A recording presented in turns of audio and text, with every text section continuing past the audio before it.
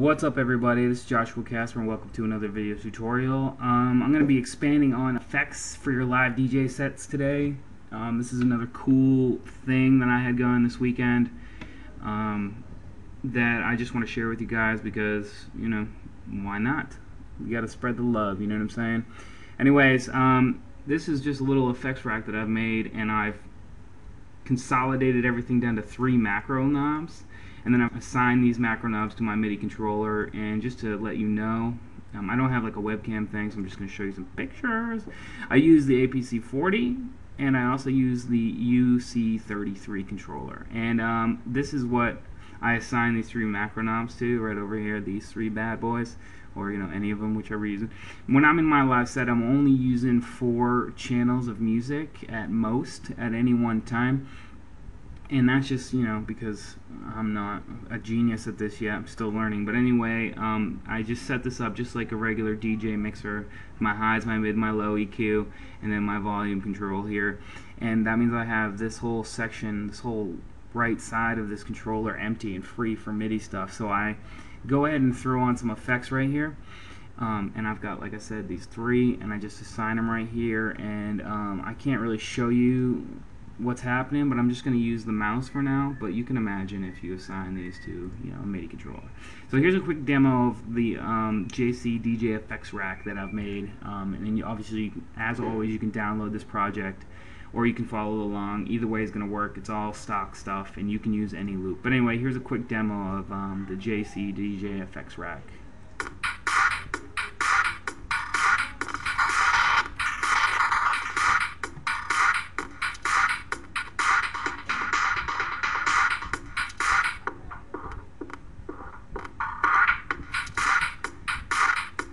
And I'm sorry for that clicking, but this screen capture program I use uses up like fucking 75% of my CPU. But anyway, um, as you can see, it's a filter, fade to gray, and a beat repeat. And I'm going to show you how to make this rack.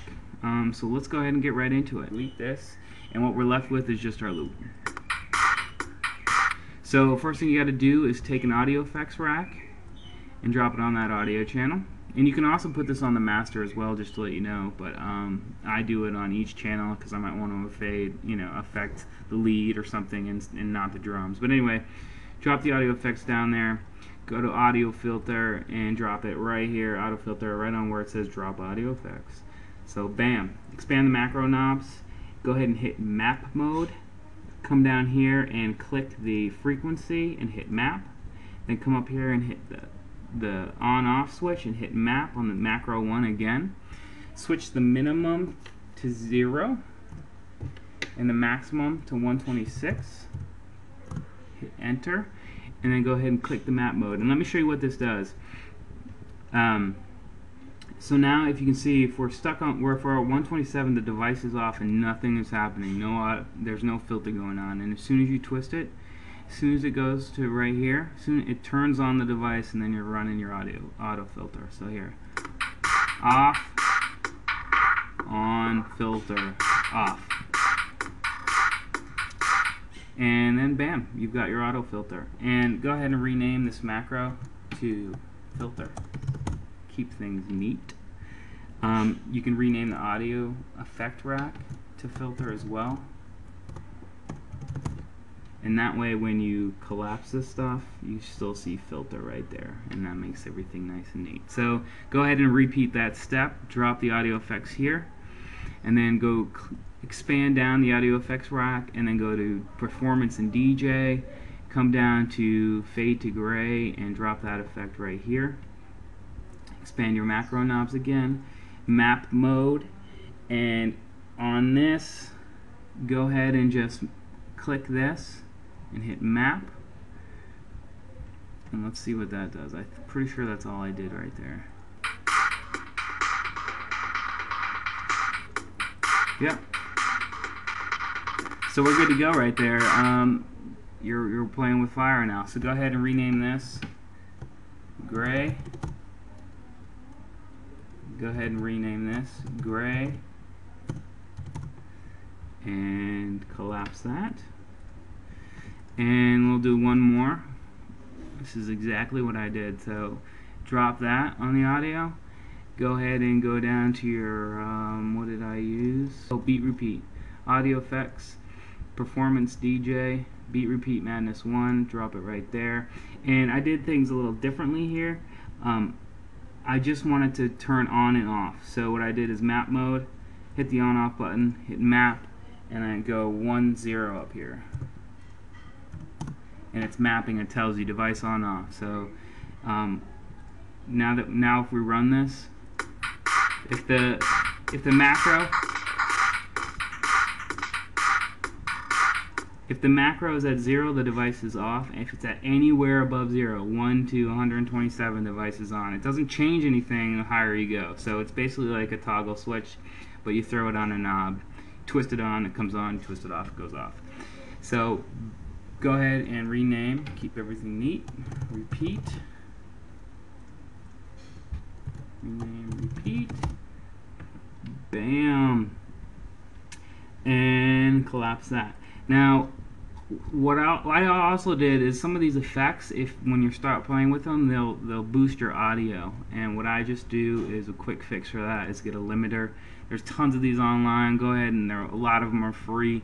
I just use this classic um, classic master limiter, drop it on there, and now no matter what I do, um, I'm never gonna redline here on my audio channel. So this one is from Kjaerhus Audio, I guess. You can look that up, or you can just go out and find another one. There's tons of free effects plugins like that, and Ableton 8 I think has a limiter in it anyway. But anyway, that's what I got. So now what I got to do here is kind of select them all, right click and hit group. So now they're all grouped together in this audio effects rack. So go ahead and expand your macros and hit map mode here.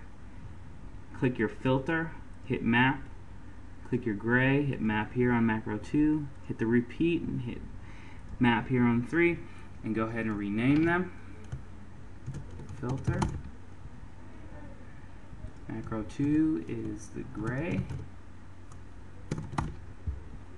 Macro 3 is the repeat. Bam. And you can go ahead and collapse that. And let's see what we got. Um, first thing you want to do is switch your filter up to 127. This is backwards, and I don't know a way to switch that. But um, it's got to be up here, and then you're going to filter out the lows going the other way. So let's go ahead and play it, see if it all worked out.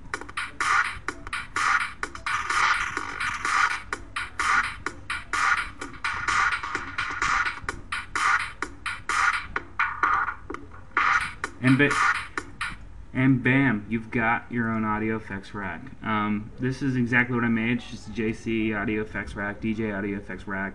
I throw these on my audio channels and maybe one on the master.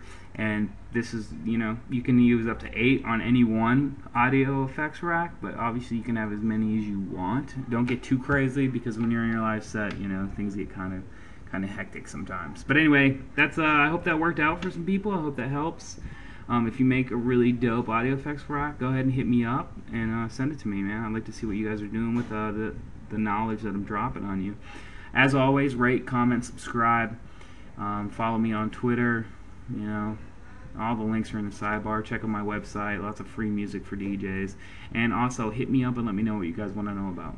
Um, this is Joshua Casper, and I'll talk to you next time.